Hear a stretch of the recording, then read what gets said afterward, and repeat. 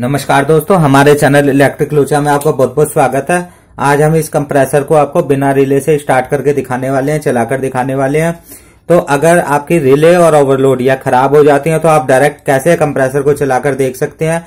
अगर आपके रिले और ओवरलोड पहले से लगे हुए हैं, तारे भी उनकी कनेक्ट है तो बिना मल्टीमीटर की मदद के आप उसे कैसे चलाकर देख सकते हैं?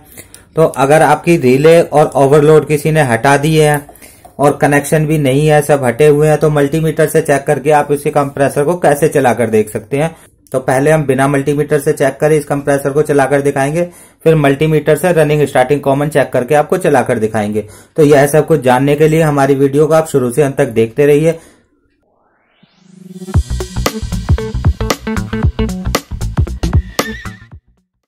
तो दोस्तों, जैसा कि आप जानते हैं कि कंप्रेसर में एक ओवरलोड लगा होता है, एक पीटीसी रिले लगी होती है। दोनों में से कुछ भी चीज़ खराब हो जाती है, दोनों में से कोई एक चीज़ खराब होगी तो कंप्रेसर स्टार्ट नहीं होता है। तो आज हम ये दोनों चीज़ें हटा करके कंप्रेसर को डायरेक्ट चलाकर देखेंगे कि कंप्रेसर कैसे स्टार्ट करते हैं। तो यह आप देख सकते हैं कि कॉमन और रनिंग स्टार्टिंग का आप यहाँ से पता लगा सकते हैं। यह जिस पिन पर ओवरलोड लगा होता है, यह पिन कंप्रेसर की कॉमन पिन होती है और जहाँ पीटीसी रिले लगी होती है, यह रनिंग और स्टार्टिंग जिस जिस पिन पर वायर लगी है डायरेक्ट वह आपकी रनिंग होती है और साइड में स्टार्टिंग पिन होती है। अगर आपका फ्रिज अगर आपका कंप्रेसर किसी ने छेड़ा नहीं है कनेक्शन किसी ने छेड़े नहीं है तो आप सीधा इन्हें निकाल लीजिए, बाहर निकाल लीजिए। यह हम इन्हें बाहर निकाल लेते हैं।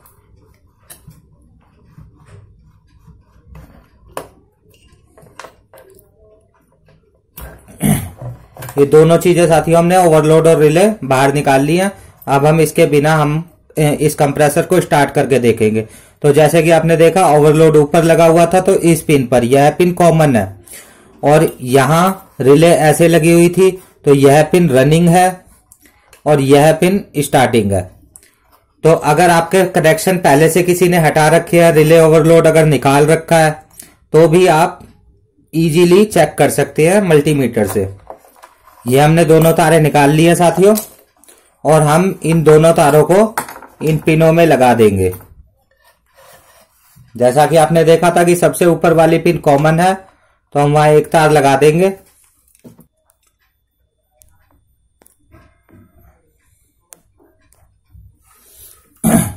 ये जैसा आपने देखा था कि सबसे ऊपर वाली पिन कॉमन है तो वहाँ हम एक तार लगा देंगे। और एक तार हम रनिंग पर लगा देंगे।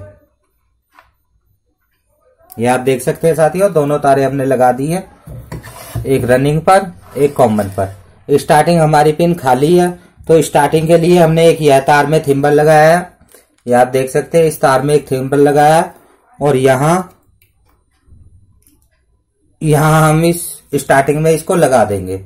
कंप्रेसर चलाने के लिए स्टार्टिंग में एक बार करंट देना पड़ता है तो हम इस पिन को यहाँ, इस तार को यहाँ टच कर देंगे और कंप्रेसर स्टार्ट होने पर इसको यहाँ से हटा देंगे।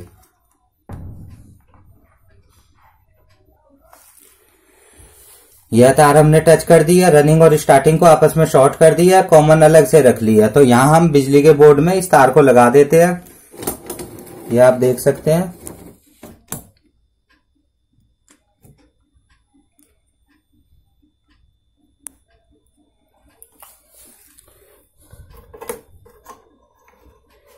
यहाँ सॉकेट है साथियों। इस सॉकेट में स्विच हमने ऑफ़ रखा है अभी। इसको लगा देते हैं। इसको लगाने के बाद हम यहाँ से स्विच ऑन करेंगे। यहाँ से हम स्विच ऑन करेंगे और साथ ही स्टार कंप्रेसर को स्टार्ट होते ही इस ये जो तार हमने स्टार्टिंग के साथ शॉर्ट किया तो इसको हम हटा देंगे। तो ये हम देखो ऑन करके दिखा देते हैं। ये स्विच ऑन किया और ये तार हटा दी। तो ये कंप्रेसर स्टार्ट हो गया साथियों, आप देख सकते हैं।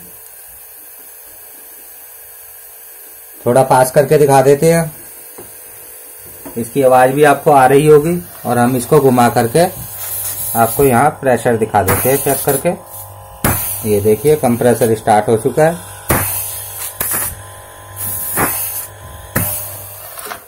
तो यह तो स्टार्ट हो गया साथियों। लेकिन जब रिले और ओवरलोड और उसकी तारे पहले से कनेक्ट है, अगर आपने डिस्कनेक्ट किए तो आपको पता होगा कि कौन सी कॉमन है, कौन सी रनिंग है, कौन सी स्टार्टिंग है। वह मैंने आपको बता दिया कि कैसे देखे कि कौन सी तार रनिंग है, कौन सी स्टार्टिंग है। अगर पहले से कोई तारे हटा देता है, कोई चेक कर दिया आया था और तारे कोई हटा देता है तो आप कैसे चेक करेंगे? तो वह भी हम आपको दिखा देते हैं। तो यह हमारा साथियों मल्टीमीटर है, हमने इसको कंटिन्यूटी पर लगा दिया है। आप देख सकते हैं। बीप भी आएगी और कंटिन्यूटी भी आएगी। तो आप अगर कि पहले से किसी ने तार हटा रखी है तो आप रनिंग स्टार्टिंग कॉमन का कैसे पता करें?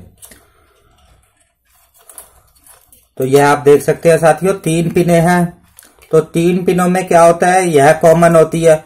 कॉमन का मतलब यह है कि एक इसमें रनिंग वाइंडिंग से वायर जुड़ी हुई है और एक वायर स्टार्टिंग वाइंडिंग से जुड़ी हुई है। तो अगर हम यहाँ से यहाँ भी एक तार जुड़ी हुई है, किसी भी कोई भी रनिंग है, कोई भी स्टार्टिंग है तो वो हम चेक करेंगे। तो जहाँ सबसे ज़्यादा ओम्स यहाँ सबसे ज़्यादा रीडिंग जहाँ आती है तो वह रनिंग और स्टार्टिंग है साथियों। ये देखिए। 81 आ रही है। यहाँ 81 रीडिंग है। और यहाँ अगर हम देखें 58 तो यहाँ से थोड़ी कम है। यहाँ 27 तो यह जो सबसे कम रीडिंग है। यह साथियों रनिंग है। यह रनिंग वाइंडिंग है और इससे जो थोड़ी ज़्यादा रीडिंग है, वह स्टार्टिंग वाइंडिंग है। और जहाँ सबसे ज़्यादा रीडिंग आती है, वह एक तार रनिंग की है और एक तार स्टार्टिंग की है। तो इससे हमें पता चलता है कि ये दोनों तो रनिंग और स्टार्टिंग है। तो यह यहाँ से रनिंग वाइंडिंग है, यहाँ चेक करते हैं तो स्टार्टिंग वाइंडिंग है। तो यह पिन हमारी सबसे ऊपर वाली कॉमन है और राइट साइड वाली हमारी सबसे कम रीडिंग है, इसलिए रनिंग वाइंडिंग है। और सबसे लेफ़्ट में स्टार्टिंग वाइंडिंग है। ये देखिए तो हमें क्या करना है? रनिंग और कॉमन में। एक एक वायर लगा दी है हमने रनिंग और कॉमन में। ये आप देख सकते हैं, इसे हम हटा देते हैं। और एक बार ये हमने बना के रखी थी थिम्बर लगा करके, हमने स्टार्ट करने के लिए। तो यहाँ यह वायर हम लगा देते हैं। और फिर से एक बार इसको स्टार्ट करके देख लेते हैं। तो यह तार हमें यहाँ शॉर्ट कर देनी है स्टार्टिंग के साथ में, और जैसे ही हम स्विच ऑन करेंगे तो यह तार हमें यहाँ से हटा देनी है। यहाँ हमारा स्विच बोर्ड लगा हुआ है, और जैसे ही हम स्विच ऑन करेंगे तो यहाँ से ये स्टार्टिंग से वायर को हम हटा देंगे।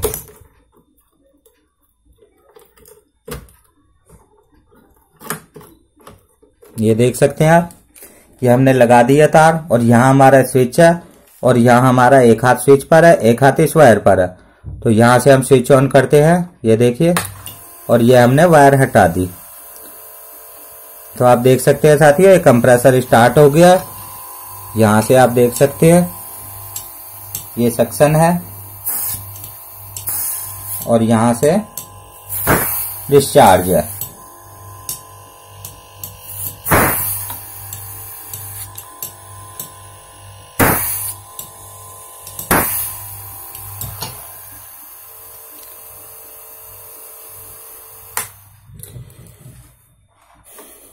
तो साथियों, सारे ही फ्रिजों में इसी तरह का कंप्रेसर लगा होता है। किसी भी कंपनी का कंप्रेसर हो, उसमें तीन पिने होंगी। एक कॉमन एक रनिंग एक स्टार्टिंग अगर आपके रिले और ओवरलोड खराब हो जाए तो आप इसको कैसे स्टार्ट करके देख सकते हैं? ये हमने आपको बता दिया ये खराब हो जाते हैं कई बार और कंप्रेसर इनकी वजह से नहीं चलता है। अगर ऐसे चलाने से कंप्रेसर चल जाता है तो आप रिले और ओवरलोड नया लगा दें और आपका फ्रिज ठीक हो जाएगा। तो दोस्तों, आपको हमारी वीडियो कैसे लगी? अगर हमारी वीडियो आपको अच्छी लगी तो आप लाइक करें शेयर करें सब्सक्राइब करें। अगर आपको नहीं अच्छी लगी तो आप डिसलाइक ज़रूर करें। और हमारी नई वीडियो, आने वाली नई वीडियो सबसे पहले देखने के लिए हमारे चैनल को सब्सक्राइब ज़रूर करें। आज की वीडियो में इतना ही। जय हिंद, जय भारत।